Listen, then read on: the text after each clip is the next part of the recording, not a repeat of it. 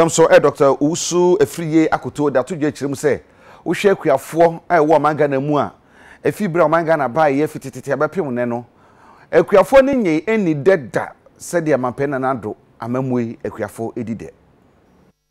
This year, the government of Nana Addo Dankwa Akufo-Addo has spent over 600 million Ghana cedis subsidizing seeds and fertilizers to our farmers alone. That's more than 100 million US dollars. And that is how much he has spent each of the four years that I've been the Minister for Food and Agriculture in Ghana.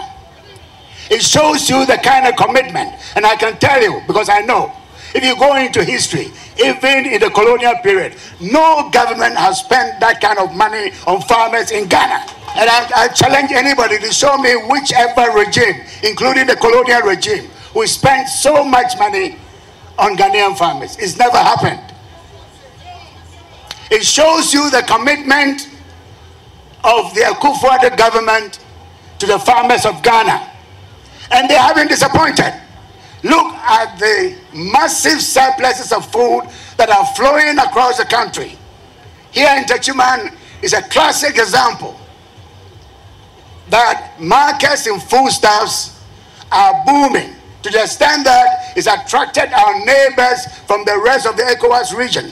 You go to the northern region, Tamale and thereabout, you will see vehicles with numbers from Guinea, Mali, Kano, Nigeria, Burkina Faso, even Cote d'Ivoire, where we used to import plantain. Now they are coming out to take plantain, yams, 19 different food items from Ghana.